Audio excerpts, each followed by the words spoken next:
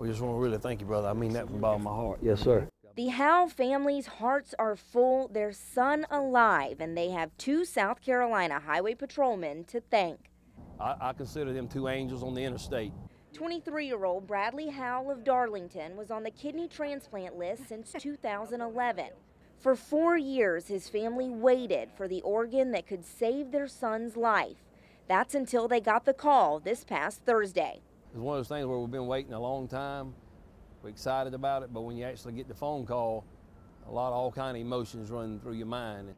The call came in after midnight, and with only minutes to pack, the Howe family was off, headed for Charleston, with a 5:30 a.m. deadline drawing near.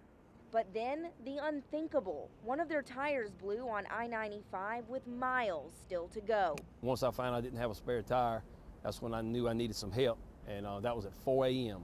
Friday morning. So that's when I dialed Star HP because I knew those guys could help us.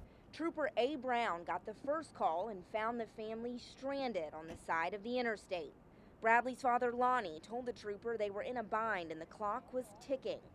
So at that point, I said, well, I don't know what I have to do, but we got to get them where they need to go. Trooper Brown handed the family off to Trooper C. Basil, who took them the rest of the way. With blue lights and sirens blaring, Trooper Basil pulled up to the Medical University of South Carolina with just minutes to spare, nurses on standby. We got here with the blue lights on and everything, which was really cool. They had the wheelchair waiting on us. And Friday, days after his transplant, Bradley and his family were reunited with their angels of the interstate. You'll never know. I promise you'll never know how much it means to us. I'm, I'm just glad that we were able to, to be there when, we, when they needed them.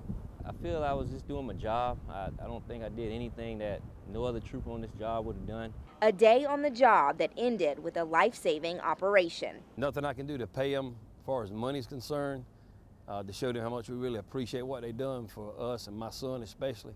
But they made the difference on whether he was able to sit here today with a, a new kidney in his body. Reporting in Charleston, Alex Heaton, WPDE News Channel 15.